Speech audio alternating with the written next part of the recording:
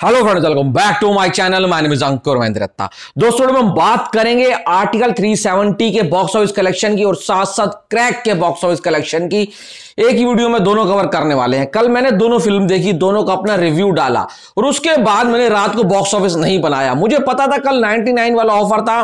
Cinema lovers day था तो कोई भी फ़िल्म आगे पीछे हो सकती है। इस दिन नहीं पता लगेगा कि पब्लिक का क्या वर्डिट आया है, क्या कलेक्शंस आई हैं। पर आज पिक्चर सारी साफ़ हो चुकी है। भाई साहब, दूध की तरह साफ़ हो चुकी है कि कौन सी फ़िल्म पब्लिक को पसंद आ रही है, कौन सी डोमिनेट कर रही है और कौन सी एकदम नीचे डाउन हो गई अब देखो क्रैक की बात करते हैं। क्रैक का डे वन कितना आया? 5.73 करोड़ वर्ल्ड वाइड आया है, या इंडिया आया है। यह विद्युत जामवाल की आज तक की हाईएस्ट है हाईएस्ट डे वन की 5.73 करोड़ इंडिया आया है। यह विद्युत जामवाल की आज तक की हाईएस्ट डे वन की कलेक्शन है क्रैक की। आज क्या हो रहा है? आज इस फ़िल्म को मैं सुबह से मॉनिटर कर रहा था बुक माई शो के ऊपर। कभी एक हज़ार, कभी डेढ़ हज़ार, अभी दो हज़ार टिकट सोल्ड आउट हो रही हैं। अब एक बात बताओ, जब मैंने कल इसका रिव्यू दिया तो कुछ लोग मुझे बोलते हैं कि भाई पठान से बहुत अच्छी है। यार पठान से क्यों कंपेयर कर रहे हो यार? इंडियन पुलिस फोर्स से कंपेयर करो ना। ये फ़िल्म उन लोगों को पसंद आई है जिनको इंडियन पुलिस फोर्स पसंद आई थी। कुछ तो ऐसे हैं भाई साहब। इतने इतने सब्सक्राइबर लेकर बैठे और मूवी की नॉलेज भाई ज़ीरो है। इस फ़िल्म को उन्होंने क्या बना दिया? स्टोरी वाइज ना, इससे क्रैप मैंने आज तक नहीं देखा। ये स्टोरी वाइज अगर आप इसको देखोगे ना तो गणपत के बराबर की मूवी है टाइगर श्रॉफ की। इतनी थर्ड क्लास स्टोरी है ना, जो आप सिर पकड़ पकड़ लोगे, अगर आप नहीं देखने गए ना तो सोचो आपने कल निन्यानवे रुपए भी बचा लिए हैं। देखो यार, हम हमारा किससे कोई दुश्मनी थोड़ी है। अच्छी होगी तो अच्छी बोलेंगे ना। कुछ लोगों ने सुबह नौ से दस बजे रिव्यू डाल दिया था क्रैक का। आर्टिकल 370 का नहीं डाला था, क्रैक का डाल दिया था।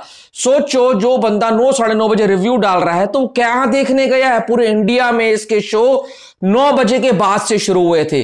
जो बंदा नौ, दस बजे रिव्यू डाल रहा है तो सोचो वो छह बजे का शो देखने गया होगा, और उनके बाप ने स्क्रीनिंग लगाई थी छह बजे, मुझे बताओ कहाँ देखी है? तो सोचो पैसा पहुँच गया था उनके पास इस फ़िल्म को ऊपर दिखाने के लिए। और कुछ लोग तो इसलिए अच्छा बोल रहे हैं कि जैसे उनकी आर्टिकल 370 से पर्सनली दुश्मनी। और एक बात बताऊँ आर्टिकल 370 एक ऐसी फ़िल्म है ना, जो आपको कुछ सिखा कर जा रही है, कुछ बता कर जा रही है, देश का इतिहास बताकर जा रही है। सच बता रहा हूँ वेरी वेल मेड फ़िल्म है वो। अब आज ये क्या कर रही है? छह बजे तक सिर्फ़ और सिर्फ़ 1.30 करोड़ कमाया है अभी तक क्रैक ने। अगर इतनी अच्छी थी तो आज क्यों नहीं पब्लिक गई देखने के लिए। क्यों? क्योंकि फ़िल्म में दम ही नहीं है। भाई साहब एकदम घुटनों पर आ गई है फ़िल्म में। बिल्कुल सिर पैर ही नहीं है। तो भाई देखो क्या चल रहा है। अब आ जाओ तुम किसके ऊपर? आर्टिकल 370 के ऊपर।